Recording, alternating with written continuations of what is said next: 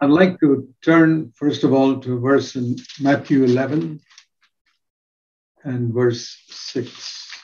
Aș vrea mai întâi să deschidem la un verset din Matei 11, versetul Jesus says 6. here, Isus vorbește aici despre o persoană care este binecuvântată. there are many blesseds in Matthew Sunt chapter multe 5, binecuvântări verse în 1, Matei blessed are the capitolul poor in 5, spirit, în predica de pe munte. blessed are those Binecuvântați who sau hunger and thirst ferice after de cei righteousness, săraci în things duh, like that. De cei flămânzi și însetați după Here it neprihănire says, și așa mai "Blessed is departe. the man who's not offended." Aici spune, binecuvântat sau ferice de acela pentru care eu nu voi fi un prilej de poticnire. Offended because Prilej de poticnire indiferent din ce motiv. because sometimes because we expected the Lord Uneori, din cauza că noi ne așteptăm ca Domnul să facă ceva pentru noi și El nu o face. Many believers Acesta este unul dintre motivele principale pentru care mulți creștini se poticnesc. promises in scripture Ei se roagă pentru ceva, they think they have fulfilled iau promisiuni din Scriptură, ei cred că îndeplinesc condițiile for a long, long time. Some și sickness is răspunsul not healed, nu vine, timp îndelungat. some problem Vreo is boală not rămâne nevindecată, vreo problemă nu se rezolvă. Și astfel with the se Lord. poate întâmpla să găsească unii prilej de poticnire în Domnul. Blessed is the man Gândiți-vă la versetul acesta. Ferice sau binecuvântat este acela care nu găsește în mine un prilej de poticnire, indiferent de situație. So, I don't want Nu vreau să vă fac să vă simțiți pe vreunul dintre voi condamnați, dar întreabă-te această întrebare. Te-ai poticnit vreodată pentru că Domnul nu a făcut ceva ce tu ai fi vrut ca El să facă? Când te-ai așteptat să lucreze într-un anumit fel și El n-a lucrat așa. Te-ai rugat și ai crezut că ai îndeplinit toate condițiile și totuși n-a venit niciun răspuns. Ai așteptat mult timp și lucrurile au mers din rău mai rău și te-ai poticnit. Să deschidem în capitolul 13 din Matei. Aici vorbește despre diferite tipuri de pământ în care este semănat cuvântul lui Dumnezeu. E bine să medităm la pasajul acesta. Pilda semănătorului din capitolul 13, primele 18 versete. Și să ne întrebăm dacă ne potrivim în una dintre aceste categorii. Eu mă gândesc mai ales la una. Versetul 20. Sămânța căzută în locuri stâncoase este acela care aude cuvântul și îl primește îndată cu bucurie. Și sunt sigur că toți dintre noi ne putem uita în urmă la momente în care am auzit cuvântul lui Dumnezeu prin care ne-a vorbit și l-am primit cu o mare bucurie. Sau la momentul în care am primit credința în inimile noastre. Sau atunci când am fost umpluți cu Duhul Sfânt. O experiență minunată. Sau când am primit răspuns minunat la rugăciuni. Și am primit cuvântul lui Dumnezeu cu bucurie. Dar dacă cineva nu a lăsat ca acel cuvânt să facă rădăcină mai adânc, când a venit un necaz sau o prigonire, imediat s-a poticnit și s-a lepădat.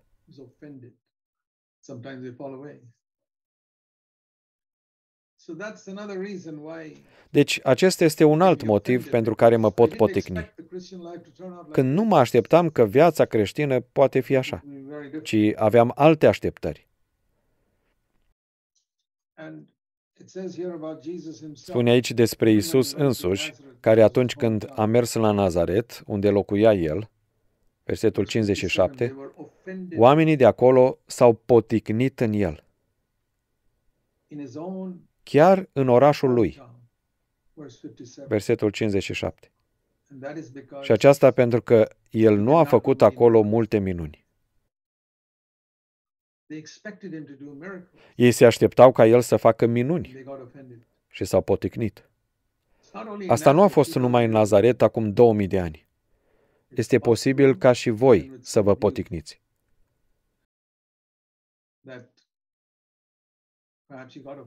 Poate n-ai spus asta pentru că știi că nu este bine să spui așa, dar tu ai vrut ca Domnul să lucreze în vreun fel și n-a lucrat. Nu a lucrat așa cum tu te-ai așteptat. Nu a făcut acea minune la care tu te-ai așteptat să o facă.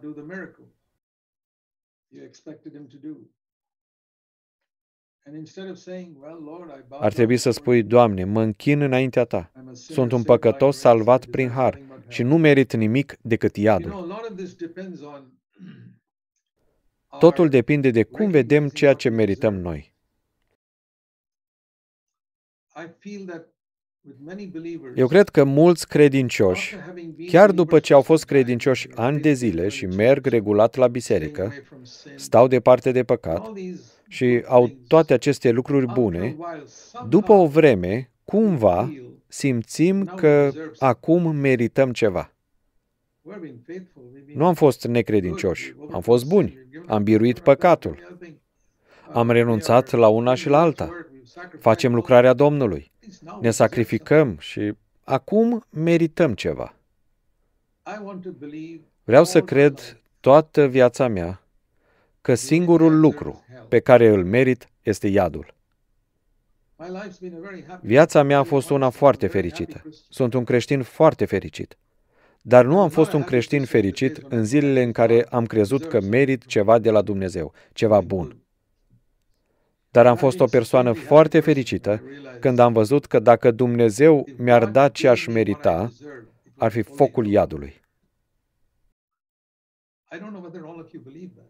Nu știu dacă voi credeți asta. Știu că credeați asta la început, când v-ați întors la Dumnezeu. Dar după câțiva ani în care ați rămas credincioși, mai credeți asta? Eu cred asta. De aceea viața mea este foarte fericită. Nu am nici o plângere împotriva lui Dumnezeu, cum că nu mi-ar fi răspuns la rugăciuni sau că nu a lucrat după cum mă așteptam eu ca el să lucreze. Nu mă plâng nici cu privire la modul cum vreo persoană s-a purtat cu mine. Nici de ce Dumnezeu nu mi-a luat apărarea atunci când cineva mă înșela sau când îmi făcea rău, când eu eram credincios lui Dumnezeu. Nu, nu am nicio dezamăgire. Eu încerc să vă conduc la o viață în care să nu găsiți niciodată prilej de potignire în Domnul, în care să nu fiți niciodată dezamăgiți și toată viața voastră să fie o bucurie negrăită și strălucită. Cunoașteți acest verset? Haideți să vi-l arăt. Este un verset minunat. Se află în 1 Petru, capitolul 1. 1 Petru, capitolul 1. Voi vă bucurați cu o bucurie negrăită și strălucită.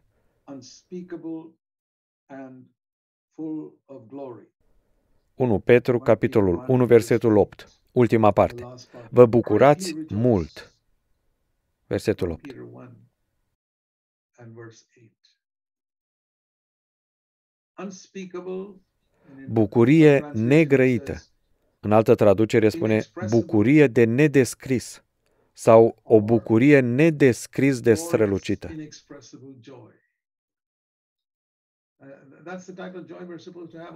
Acest fel de bucurie ar trebui să-l avem totdeauna.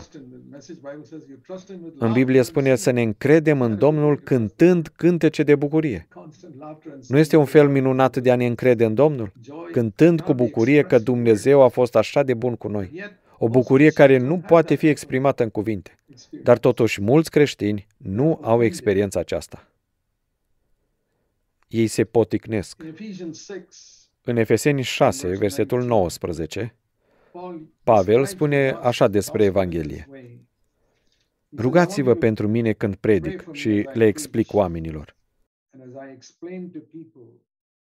Efeseni 6, versetul 19. Rugați-vă ca ori de câte ori îmi deschid gura, să mi se dea cuvânt, ca să fac cunoscut cu îndrăzneală ce? Taina Evangheliei.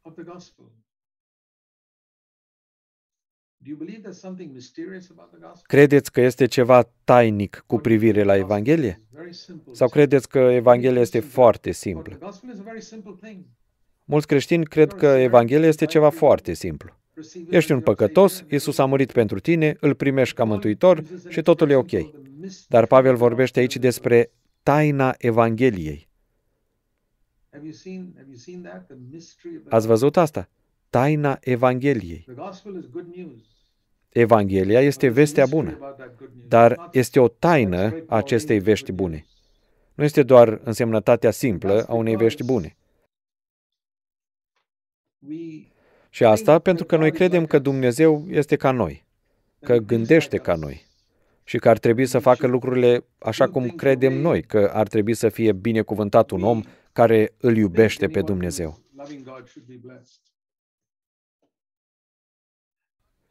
Dar Dumnezeu nu este așa. Odată Dumnezeu a spus cuiva, tu crezi că eu sunt ca tine, dar nu sunt așa. Să vă arăt unul din versetele mele preferate din Isaia 55. Aș vrea să vă arăt mai multe versete în acest studiu pentru ca să vă însușiți niște adevăruri.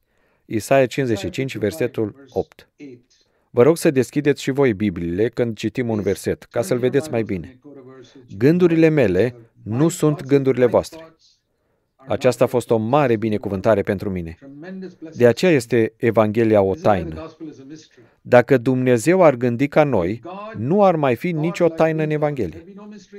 Dacă o problemă de matematică este foarte grea, dacă ești deștept și înveți destul, o poți rezolva.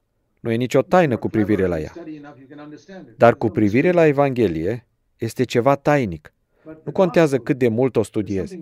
Nu o poți înțelege dacă Dumnezeu nu îți dă revelație prin Duhul Sfânt. Pentru că modul de gândire al lui Dumnezeu este total diferit de al nostru. Modul lui Dumnezeu de a face lucrurile este diferit de al nostru. Evaluarea lui Dumnezeu cu privire la ce este bun și la ce nu este bun este foarte diferită de a noastră. Și vreau să vă spun că mulți credincioși n-au înțeles asta. Este o taină aici, taina Evangheliei.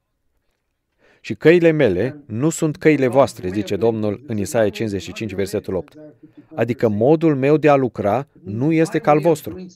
Când mă uit în lume și văd câte lucruri se întâmplă, spun, Doamne, Tu ai fi putut așa de ușor să rezolvi problema aceea. Tu poți ușor să rezolvi problema unui război. Tu poți să omori vreun dictator. În al doilea război mondial, câți oameni au murit din cauza unui dictator care a trăit mult? Dacă ar fi fost omorât mai repede, s-ar fi terminat și războiul mai devreme. Când ne gândim la copii răpiți și abuzați sexual, mă gândesc că Domnul ar putea să pedepsească pe acei oameni imediat și totul s-ar termina. De ce nu acționează Dumnezeu așa? Știu că dacă tu sau eu am avea această putere, așa am acționat. Dar Dumnezeu spune, căile mele nu sunt căile voastre. Ați înțeles? Ați înțeles taina căilor lui Dumnezeu? Căile lui sunt diferite de ale noastre. Și dacă vreți să știți cât sunt de diferite, spune în versetul 9, atât cât sunt de sus cerurile față de pământ. Adică nu numai o diferență de 10 grade. Nu. Este foarte important, dragi frați și surori, ca dacă vreți să trăiți o viață fericită, să nu vă plângeți niciodată și să nu vă poticniți în Domnul, indiferent de ce se întâmplă sau nu se întâmplă, chiar dacă rugăciunile voastre sunt ascultate sau nu sunt ascultate. Dacă Dumnezeu face exact opusul la ceea ce te-ai rugat, nu te vei poticni dacă înțelegi un lucru, căci cu toată inteligența ta, tu nu ai nici cea mai mică idee despre cum gândește Dumnezeu. Nu crede că numai oamenii fără minte nu pot înțelege, ci și tu, care ești o persoană isteață, nici tu nu poți înțelege. Asta m-a ajutat pe mine. Eu nu cred că sunt un om prost. Am un pic de inteligență și ar fi ușor pentru mine să cred că știu totul doar pentru că am citit Biblia. Dar să vă spun ce am învățat studiind Biblia. Că modul de gândire a lui Dumnezeu este total diferit de al meu. Așa cum sunt cerurile de departe față de pământ. Și odată ce recunosc acest lucru, nu mă pot poticni niciodată. Ferice de cel ce nu se poticnește în mine, spune Domnul. Și nu te vei poticni când rugăciunile tale nu primesc răspuns, sau când Dumnezeu nu face așa cum te-ai așteptat tu în familia ta, sau când ai o problemă care nu se rezolvă și credeai că se va întoarce spre binele tău, dar nu a părut a fi așa. Chiar dacă Biblia zice că toate lucrează spre binele tău, dar nu se vede acest bine. Și atunci te poți poticni. Și asta dintr-un motiv, că nu ai înțeles Isaia 55, versetul 8 și 9. Că modul de lucrare a lui Dumnezeu este atât de diferit de al tău, așa cum cerurile sunt departe de pământ. Este foarte simplu. Deci, pentru a înțelege aceasta, să vă dau câteva exemple. De exemplu, în Vechiul Testament, Dumnezeu nu lucra cu oamenii așa cum face cu noi astăzi. De exemplu, David nu avea Duhul Sfânt în el. Deci, în tot Vechiul Testament, evreii au înțeles într-un singur fel că Dumnezeu era cu ei, numai dacă toți dușmanii lor erau nimiciți.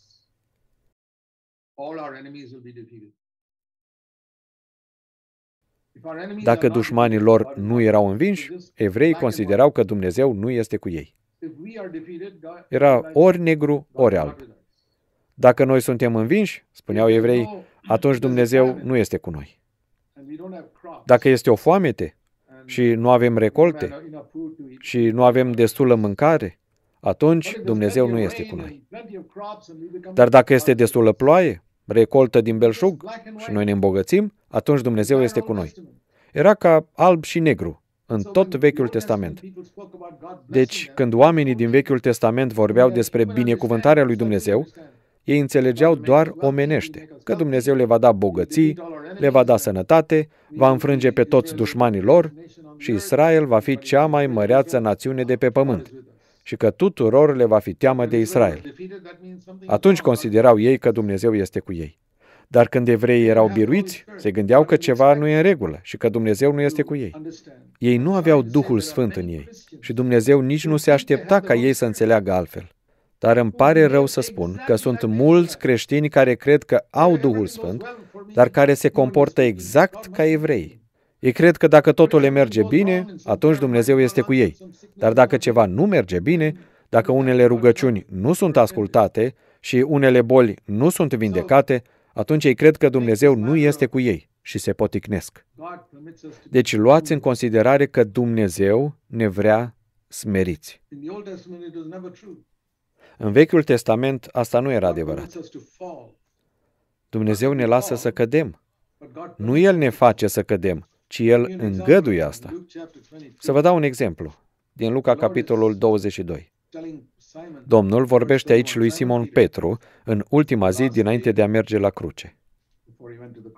Sunt aproape ultimele lui cuvinte dinainte de a merge la cruce. Luca 22, versetul 31. Iisus a spus lui Petru, Satan v-a cerut să vă cearnă ca grâul. Iisus l-a iubit mult pe Petru și pe tine te iubește mult. Vreau să vă spun tuturor în numele lui Isus că Domnul vă iubește mult. Și totuși, permite El celor pe care îi iubește să fie cernuți de Satan? Nu vorbim aici de Iuda Iscariotianul, nici de Caiafa, marele preot care au fost cernuți de Satan. Aici este vorba de unul din cei mai apropiați ucenici ai lui Isus, de Petru. Satan a cerut permisiunea să-l cearnă ca pe grâu. Și i s-a permis aceasta. Și Domnul a zis că s-a rugat pentru el. Slavă Domnului! Iisus i-a zis că s-a rugat pentru el. Și ce s-a rugat? Tată, nu îngădui ca el să fie cernut? Nu. N-a fost asta rugăciunea lui. Și nu este asta rugăciunea lui nici pentru tine. Rugăciunea lui a fost, lasă-l să fie cernut. Și lasă-l să se lepede de mine. Nu odată, nu de două ori, ci de trei ori. I-a spus asta lui Petru în versetul 34. Înainte să cânte cocoșul, te vei lepăda de mine de trei ori. Și poate ai zis, de ce nu te-ai rugat, Doamne, ca el să nu se lepede de tine? De ce nu te-ai rugat ca el să ajungă în situația în care să nu se lepede? Nu este ceva rău, Doamne, să se lepede cineva de tine? Isus a spus odată, cine se va lepăda de mine înaintea oamenilor, mă voi lepăda și eu de el înaintea Tatălui. Nu a spus că dacă omori pe cineva, mă voi lepăda de tine înaintea Tatălui. Nu a spus nici dacă curvești, mă voi lepăda de tine înaintea Tatălui ci a spus că dacă ne lepădăm de El înaintea oamenilor, și El se va lepăda de noi înaintea Tatălui. Deci, care este mai mare păcat? Crima, curvia sau lepădarea de Isus? Știți răspunsul. A spus că numai dacă ne lepădăm de El înaintea oamenilor, se va lepăda de noi înaintea Tatălui. Nu a spus asta cu privire la niciun alt păcat pe care l-ai comite. Și totuși, chiar dacă urma să păcătuiască în felul acesta, Domnul nu l-a ferit pe Petru să nu-l facă. Putea să se roage, Tată, nu îngădui ca el să se lepede. Dar nu s-a rugat așa ci în versetul 32 s-a rugat ca credința lui Petru să nu se piardă după ce se leapădă de Domnul și ca după aceea să se pocăiască din nou și apoi să îi întărească pe frații lui. Căile lui Dumnezeu sunt așa de tainice. Tu nu te-ai ruga așa pentru copiii tăi. Să zicem că copiii tăi urmează să meargă într-un loc mai dificil, cum ar fi la facultate. Te-ai ruga ca ei niciodată să nu se lepede de Domnul. Sau te-ai ruga să se lepede de Domnul? Nu, noi ne rugăm ca Domnul să nu îngăduie aceasta.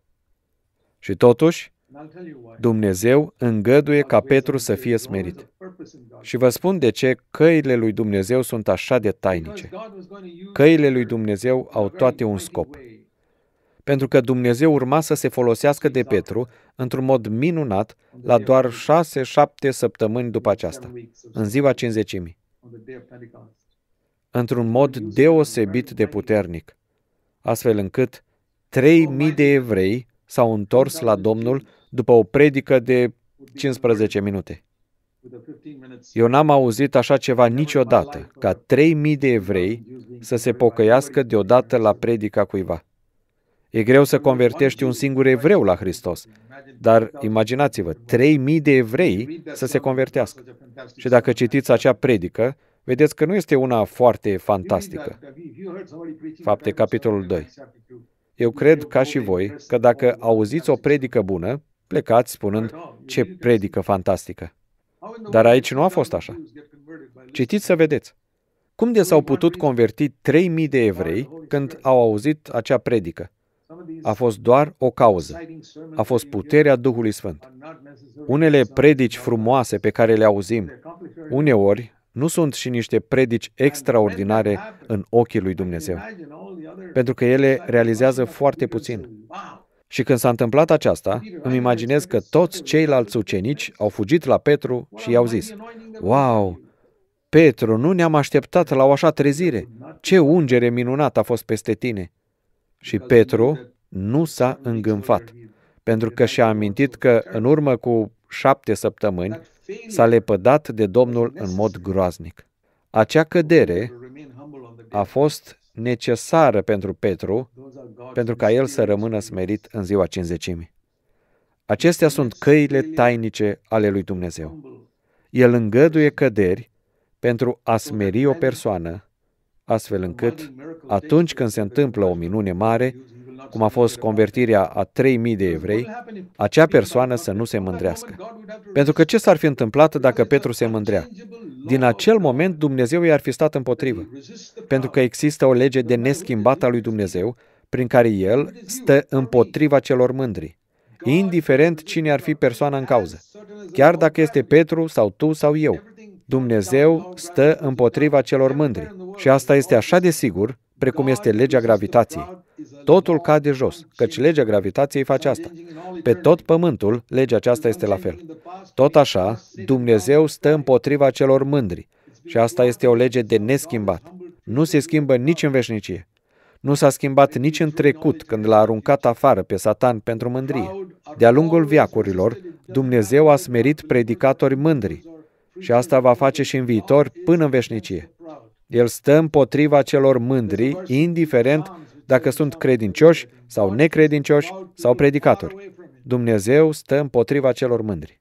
Este un verset în Psalmul 38, cred, că Dumnezeu îi ține la distanță pe cei mândri.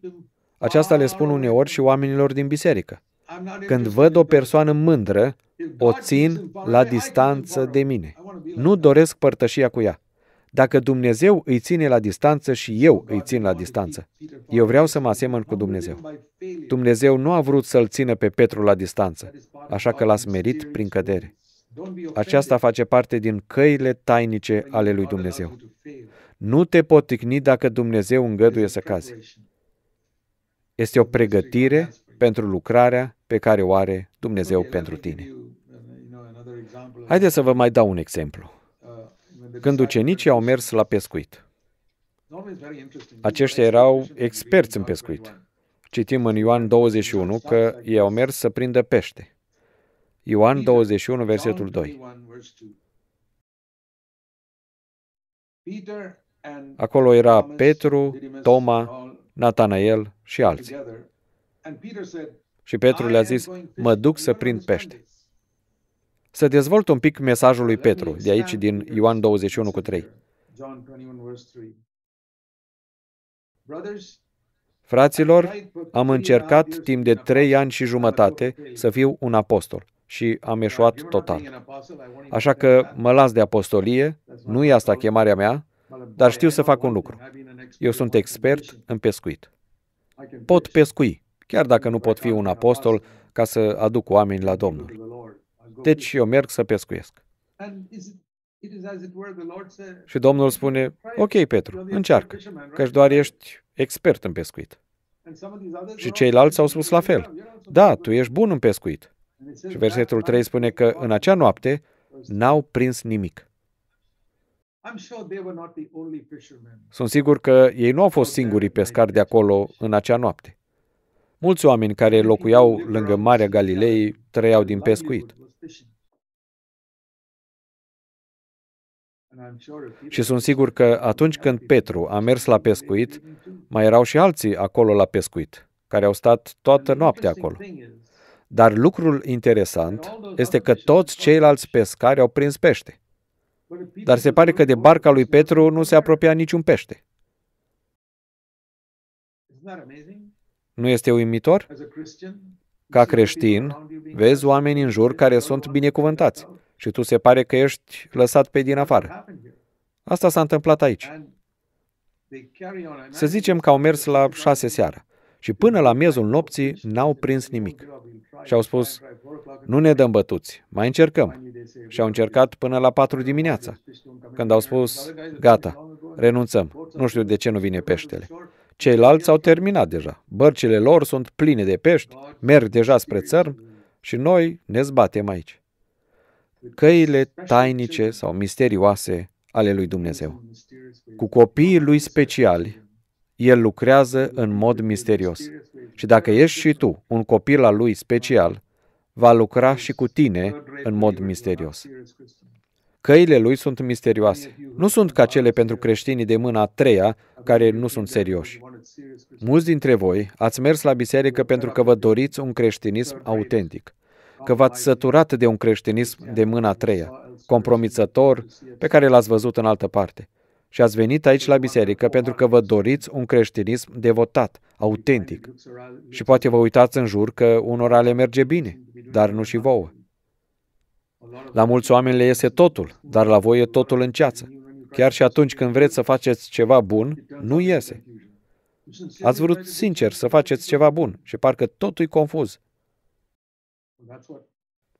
Asta vedem și aici. Aici trebuie să înțelegem cuvântul lui Dumnezeu care spune, copilul meu drag, căile mele nu sunt căile tale. Gândurile mele nu sunt gândurile tale. Eu nu lucrez cum crezi tu că ar trebui să lucrez. Eu îngădui să te smeresc, să fii neînțeles, chiar dacă ai intenții bune. Mergi cu intenția bună de a pescui și nu prinzi nimic. Toți ceilalți par a fi binecuvântați, dar nu și tu. Pari ca un ratat, pe când ar trebui să fii un ucenic devotat. Dar atunci, Domnul nu ne lasă neputincioși. Aici a vrut să-l învețe o lecție pe Petru. Lecția cea mai mare pe care Dumnezeu vrea să învețe pe toți copiii lui.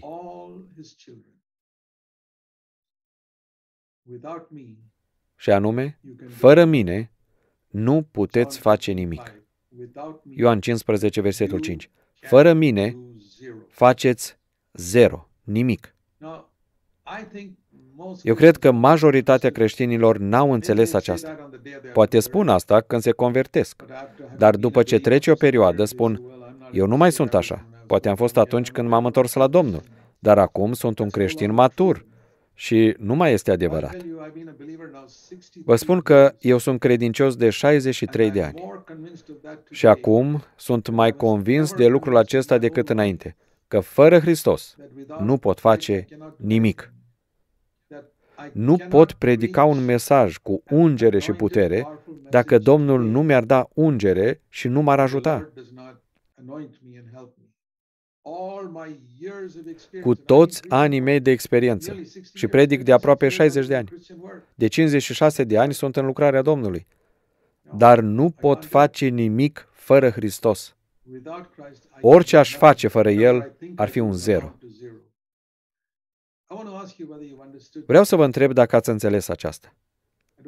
Eu cred că cei mai mulți creștini n-au înțeles. Dacă ai înțeles cu adevărat aceasta, ai strigat după puterea Duhului Sfânt în fiecare zi.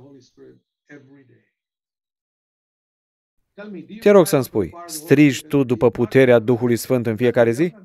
Dacă nu faci asta, înseamnă că nu ai înțeles. Asta este cea mai clară dovadă că nu ai înțeles. Crezi că poți și fără Duhul Sfânt? Așa am crezut și eu, ani de zile, până am descoperit că nu pot. Aceasta a vrut Domnul să-l învețe pe Petru, că fără mine nu puteți face nimic. Crezi că ești un pescar experimentat? Și Domnul îmi spune și mie, crezi că ești un predicator experimentat pentru că predici de atâta timp? Ai fi un ratat astăzi, pentru că te sprijinești pe propriile tale abilități. Doamne, fă să nu vină niciodată o zi în viața mea în care să mă sprijin pe experiența mea din trecut și să zic, da, pot predica pentru că am făcut-o deja de multe ori. Unii credeți că puteți predica din cauza anilor de experiență. Nu. Câți ani de experiență a avut Petru ca să aducă 3000 de oameni la Hristos în ziua cinzecimii? Numai puterea Duhului Sfânt a făcut asta. Dacă predicarea sau slujirea ta sunt rezultatul experienței tale, tu îți primești slava aici. Dacă eu mă bazez pe experiența mea din trecut, eu îmi primesc slava. Sau dacă mă laud cu cunoștințele biblice. Știi că poți vorbi din Biblie în adunare și să crezi că oamenii sunt binecuvântați și tu zici, slavă Domnului că eu cunosc Biblia. Chiar așa? Fără puterea Duhului Sfânt, nimeni n-ar fi binecuvântat. Doar îi stimulezi intelectual pe oameni. Și pentru asta nici nu trebuie să fii născut din nou. Există creștini nominali, nenăscuți din nou, foarte isteți, sunt mulți din aceștia în bisericile moarte, care pot spune lucruri care stimulează, dar care nu sunt durabile pentru veșnicie. Fără Hristos nu poți face nimic. Deci Dumnezeu îngăduie să eșuăm și a îngăduit și Petru să eșueze. Și apoi a zis, aruncă mreaja în partea dreaptă și vezi ce se întâmplă dacă asculți de mine. Și scrie că au aruncat mreaja în partea cealaltă și mreaja s-a umplut de pește. Și spune în Ioan 21 cu 11 că au prins 153 de pești mari. Niciodată în viața lor n-au prins atâția odată. Au fost cinci sau șase care lucrau împreună. Și chiar dacă au împărțit banii de pe pește între ei, au câștigat mai mulți bani decât au câștigat toată viața lor. Și apoi Domnul a spus lui Petru, în versetul 15, Simon Petru, mă iubești tu mai mult decât aceștia? Eu obișnuiam să cred că l-a întrebat pe Simon Petru dacă îl iubește mai mult decât ceilalți ucenici o fac. Dar nu mai cred asta. El nu te întreabă niciodată dacă îl iubești mai mult decât alți ucenici. Domnul ne învață să nu ne comparăm cu alți credincioși. Aici, Domnul îl întreabă pe Simon Petru dacă îl iubește mai mult decât iubește acei pești de pe care o să facă mulți bani. Aceasta era întrebarea. O, te-ai uitat la acești pești și ți s-au bulbucat ochii. Wow, uite ce mulți bani am să fac vânzând partea mea.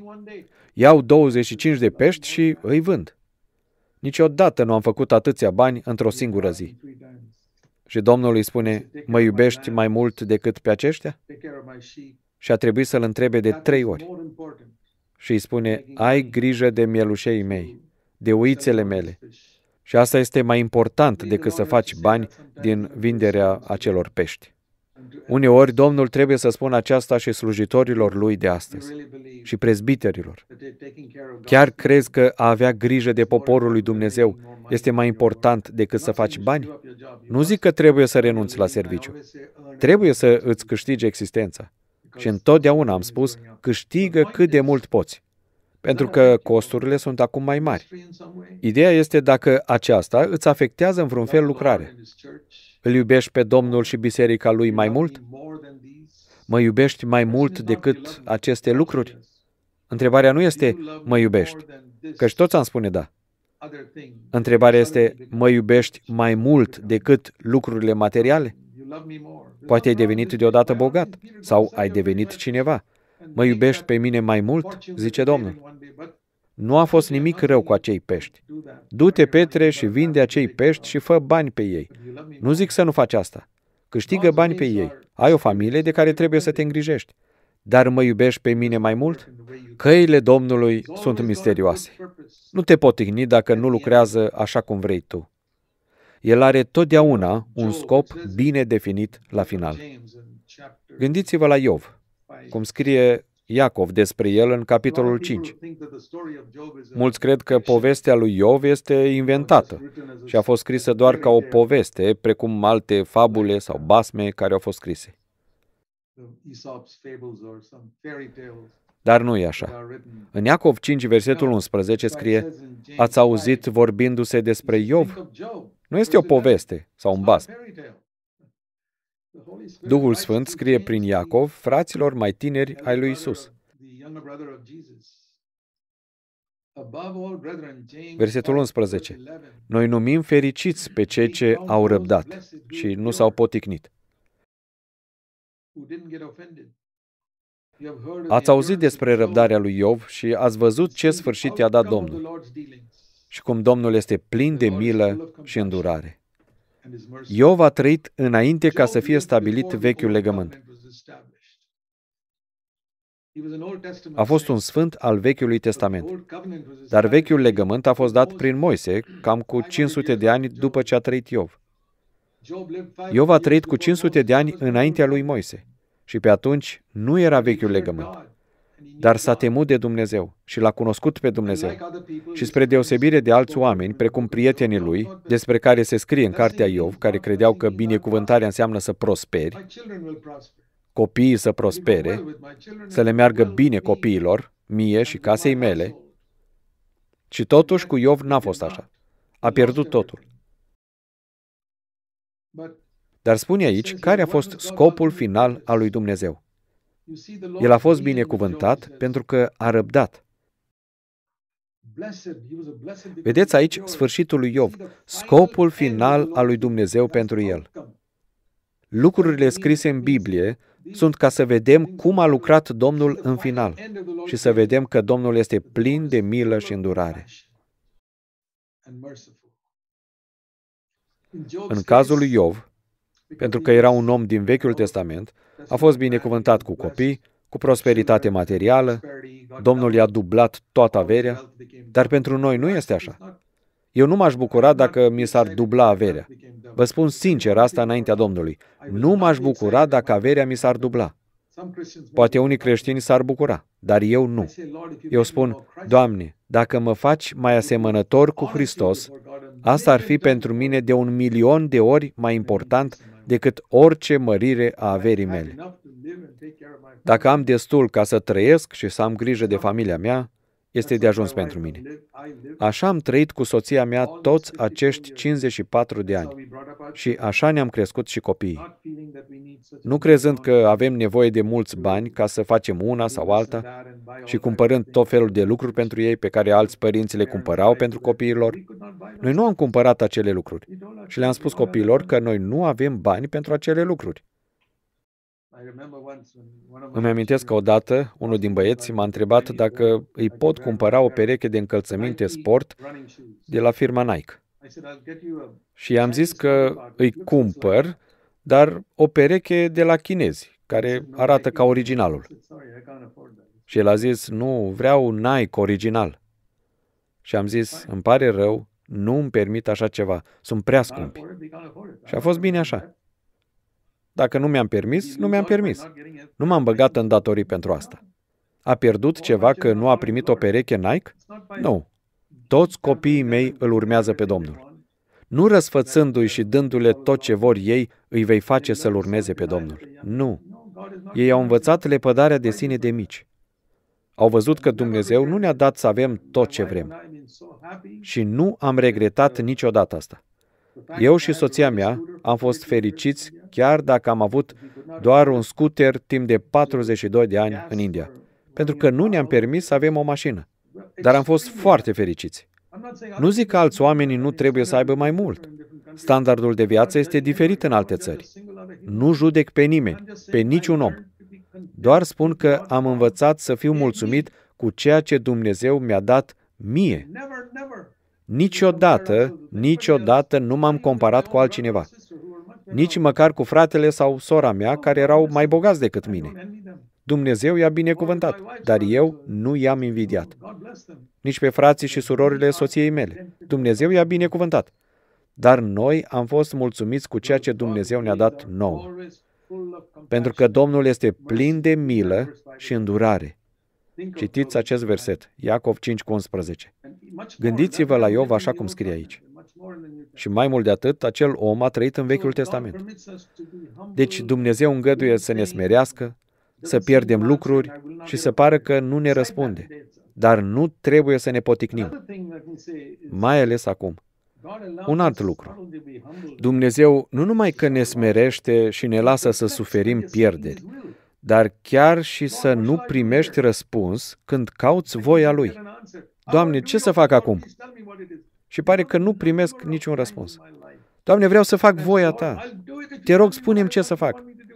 Știți de câte ori am zis Domnului, Doamne, fac ceea ce îmi spui, numai spunem ce să fac. Și n-am auzit nicio voce din cer și niciun răspuns. Parcă aș fi fost lăsat într-un vid misterios, neștiind ce să fac. 2 Corinteni, capitolul 4. Spune aici care este misterul sau taina Evangheliei de la versetul 7. Comoara aceasta o purtăm în niște vase de lut, pentru că această putere nemaipomenită să fie de la Dumnezeu și nu de la noi. Deci cum se comportă Dumnezeu față de copiii lui în nou legământ? Ascultați. Versetul 8. Suntem încolțiți în toate chipurile. Aha. Așa te porți cu copiii tăi, Doamne? Da. Dar nu la strâmtorare. Dar nu deznădăjduiți. În grea cumpănă. Despre asta vorbeam. Complet confuzi. Să apuc pe calea asta sau pe cealaltă? Spunem, Doamne, și fac așa. Niciun răspuns. Să merg la dreapta sau la stânga? Niciun răspuns. În grea cumpănă, dar fără să deznădăjduiești. Versetul 9. Prigoniți, dar nu părăsiți. Trântiți jos, dar nu omorâți. Dacă oamenii din Vechiul Testament ar fi experimentat așa ceva, să fie încolțiți, în grea cumpănă, prigoniți, trântiți jos, ar fi spus că Dumnezeu cu siguranță i-a părăsit. Dar Pavel spune nu. Acestea sunt indicatoare care ne spun că umblăm cu Domnul.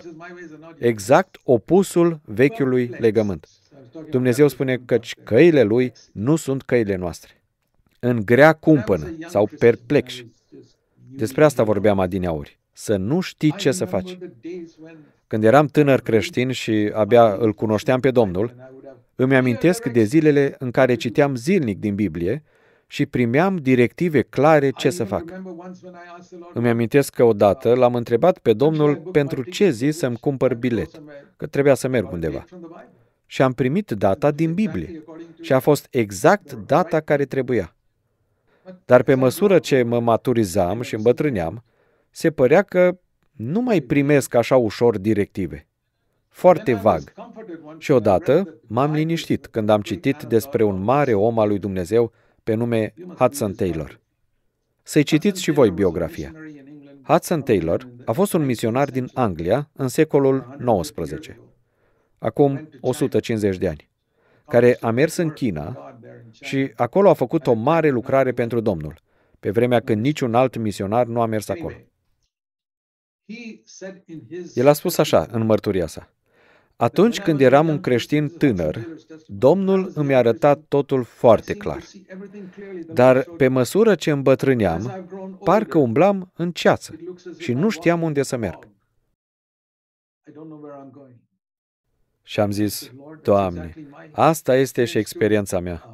Aha, asta înseamnă că am crescut, am devenit matur. Și am zis, îmi dai, Doamne, te rog, o ilustrare a acestui lucru?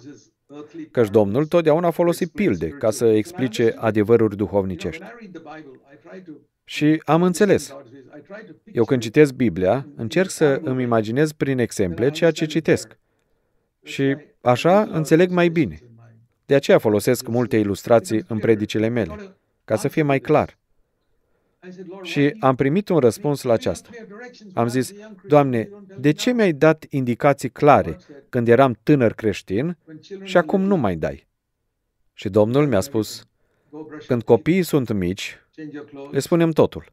Spală-te pe dinți, schimbă-te de haine, fă duș, du-te la culcare, e timpul să te trezești. Le spui multe lucruri atunci când sunt de 4-5 ani. Același copil ajunge la 20 de ani și îi mai spui, du-te, spală-te pe dinți, schimbă-ți hainele. Pe măsură ce copiii cresc, le spui tot mai puțin. De ce? Pentru că se maturizează. Și Domnul mi-a spus, acesta este un semn de maturitate. Te las pe tine să decizi. Am încredere în tine. Și am zis, îți mulțumesc așa de mult. Acea cumpănă, nedumerire, este o parte din taina Evangheliei. Acum găsesc plăcere în nedumerire. Nu spun, Doamne, trebuie să-mi arăți. Nu, nu mai am trei ani, ci sunt un adult și Domnul lasă la decizia mea. Du-te, spală-te pe dinți când vrei. Schimbă-ți hainele când vrei. Fă duș când vrei. Nu-ți mai spun eu să faci aceste lucruri. Asta o aplic din punct de vedere spiritual în situații diferite. Cumpăna, nedumerirea. Odată Domnul i-a pus o întrebare lui Ezechiel. Este un verset frumos. Unul dintre cele mai profunde versete din Vechiul Testament. Ezechiel 37, versetul 3. Ezechiel se afla în mijlocul unei văi cu oase uscate. Și Domnul îi pune o întrebare lui Ezechiel. Fiul omului, vor putea aceste oase să învieze? Și aici este unul dintre cele mai profunde răspunsuri din întreg Vechiul Testament. Doamne Dumnezeule, Tu știi. Eu nu știu. Aceasta este smerenie. Tu știi, Doamne, eu nu știu. Să stai în cumpănă. Nu știu, Doamne, pe ce drum să merg, dar am încredere în Tine. Mă încred în Tine că nu o să greșesc drumul. Îmi amintesc că de multe ori, ca credincios, am zis, aș vrea să te pot vedea măcar o dată. Tu l-ai lăsat pe Pavel să te vadă. Doar o dată în viață vreau să te văd. Și nu o să-ți mai cer asta niciodată. Numai o dată. O jumătate de minut. Lasă-mă să te văd. Dă-mi o vedenie cu tine. Dar în toți acești 82 de ani, n-a făcut asta niciodată. Răspunsul pe care mi l-a dat Domnul întotdeauna a fost din Ioan, capitolul 20. Acolo Tom a spus, vreau să văd. Dacă nu văd, nu cred. Deci Domnul i s-a arătat și lui Toma și a zis, uite semnele cuielor în palma mea. Dar apoi a zis lui Toma, și acesta este locul de unde mi-a vorbit Domnul. Ioan 20, versetul 29. Pentru că ai văzut, ai crezut. Dar ferice de cei ce n-au văzut, sau mult mai binecuvântați sunt cei ce n-au văzut și au crezut. Și Domnul mi-a vorbit mie, știi că este mai ferice de tine decât de apostolii care m-au văzut? Ei m-au văzut după înviere și au crezut. Dar tu nu m-ai văzut niciodată. Nu mi-ai auzit cu urechea vocea mea niciodată. Nu m-ai văzut niciodată cu ochii tăi. Nu ai simțit niciodată, cum zic unii, un curent electric prin tine. Și totuși ai crezut. Ferice de tine. Vă spun sincer că atunci când aud că unii spun că au simțit un curent electric când a venit Duhul Sfânt, eu nu mă rog pentru asta. Eu mă rog pentru o binecuvântare mai mare care este scris aici, și anume să cred chiar dacă nu am experimentat aceste lucruri. Câți dintre voi credeți că aceasta este o mai mare binecuvântare? Când auzi câte o mărturie spectaculoasă a vreunui om care spune, l-am văzut pe Domnul, sau Domnul mi-a vorbit cu o voce audibilă, sau am simțit un curent electric prin corp, spui că ai vrea să ai și tu astfel de experiențe? Vă spun că este o fericire sau o binecuvântare mai mare dacă nu experimentez aceste lucruri. Eu n-am experimentat nimic din acestea. Eu nu am văzut niciodată în viața mea vreo vedenie. Nici nu am auzit vreo voce din cer. N-am simțit vreun tremurat în trupul meu. Dar totuși știu că Duhul Sfânt a lucrat prin mine și prin limba mea. Am văzut rezultatele acestui lucru în multe locuri, dar n-am experimentat acele lucruri. Eu sunt în categoria celor mai binecuvântați, mai fericiți. Vrei să fii și tu acolo? Sau vrei să fii la un nivel mai jos, bazat pe vedere, simțuri, senzații? Dumnezeu ne lasă să fim în cumpănă, să fim slabi. Pavel a spus odată, când sunt slab, atunci sunt tare. Am să închei cu aceasta. 2 Corinteni, capitolul 12. Când Pavel a avut niște descoperiri extraordinare, și după cum știți, a scris Scriptura, a plantat biserici și era într-un pericol mare de a se mândri. Orice om care este folosit în mod măreț de Dumnezeu, fie că este într-un fel mai mic sau mai mare, este în pericol de mândrie. Chiar dacă ești folosit de Dumnezeu într-un mod foarte mic.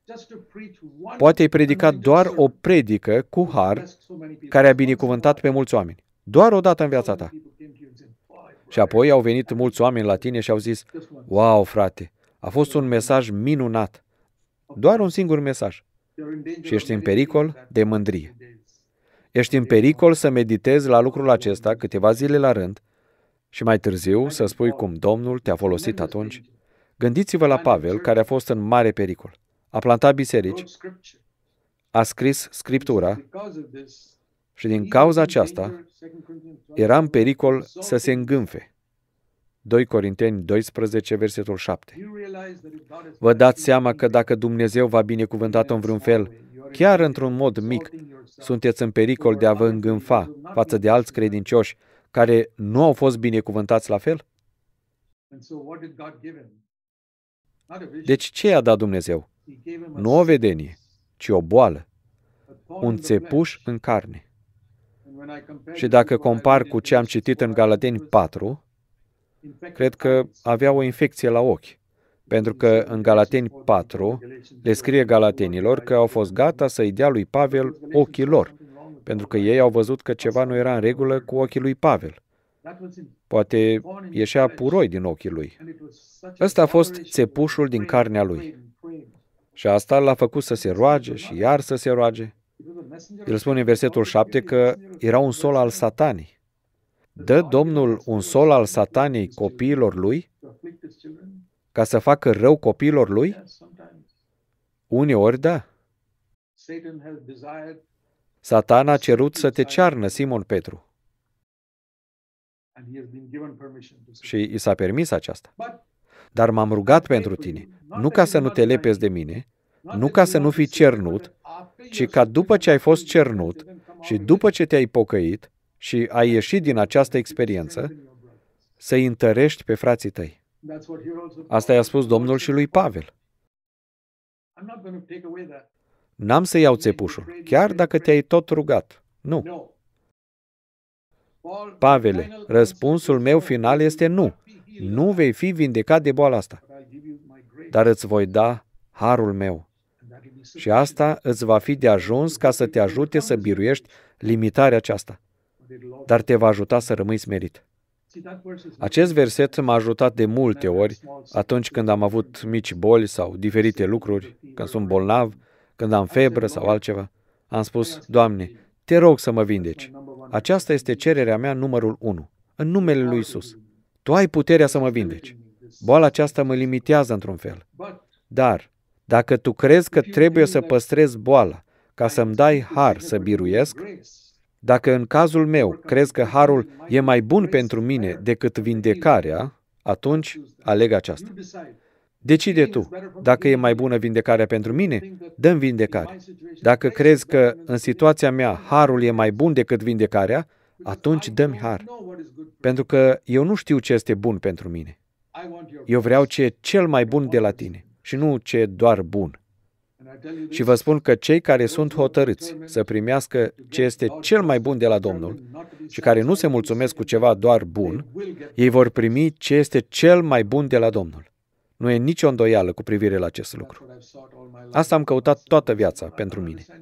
Am spus, Doamne, eu nu înțeleg căile tale. Tu ai îngăduit să fiu un cumpănă, să fiu bolnav, să sufăr, ai permis să fiu dat în judecată de oameni religioși, pentru că am vorbit împotriva doctrinelor lor eronate. Timp de 10 ani am fost nevoit să merg la tribunal ca un criminal. De ce a permis Domnul aceasta? Îmi amintesc ziua în care eram la tribunal și Domnul mi-a zis, nu te teme. Oamenii religioși m-au dus și pe mine la judecată, înaintea ta. Deci calcă pe urmele mele. Și am zis, pe care urme, Doamne? Și el a zis, pe urmele credinței și a dragostei. Credința în Tatăl Ceresc, care cunoaște fiecare detaliu al vieții tale, care numără firele părului capului tău și căruia îi pasă și de vrăbii, crezi că lui nu-i pasă de ce ți se întâmplă ție acum? Îi pasă. Tu trebuie să ai credință totală. În al doilea rând, să ai dragoste pentru acuzatorii tăi. Nu-i urâ, ci iubește-i. Și am zis că așa am să fac. Și am dat mâna cu ei la sfârșitul primei zile de judecată și le-am zis, Dumnezeu să vă binecuvinteze. Aceștia sunt pașii lui Isus, credința și dragostea. El nu te va lăsa și nu te va părăsi niciodată. Asta este sigur. Poate nu vei înțelege totdeauna căile lui. Evanghelia este un mister. Este vestea bună și este o taină ascunsă în ea. Nu este așa cum gândesc oamenii că este doar o veste bună. Este cu mult superioară. Este o cale prin care boala nu este vindecată. Și cumpăna, nedumerirea rămâne. Și pierzi lucruri pământești. Dar devii bogat spiritual. Și devii tot mai asemănător cu Hristos. Și asta este voia lui Dumnezeu. El totdeauna te întreabă, mă iubești mai mult decât aceste lucruri? Sper că răspunsul tău va fi, da, Doamne, mai mult decât orice pe pământul acesta, mai mult decât sănătatea, mai mult decât bogăția, mai mult decât onoarea, mai mult decât confortul, mai mult decât orice te iubesc pe tine cel mai mult. În timp ce ne plecăm capetele la rugăciune, roagă-L pe Domnul să imprime mesajul în inima ta, ca să nu-L uiți la vreme de nevoie. Tată Ceresc, te rog ajută-ne pe toți. Suntem niște creaturi așa de uituce. Auzim un lucru și peste o lună am uitat tot. Amintește-ne, Doamne, la vreme de nevoie ce am auzit astăzi. M-am rugat în numele Lui Isus. Amin.